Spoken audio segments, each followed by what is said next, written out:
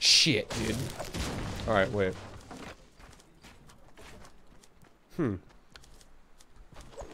Wait, dude. Wait, I think I have to do this. Wait. Was it like that?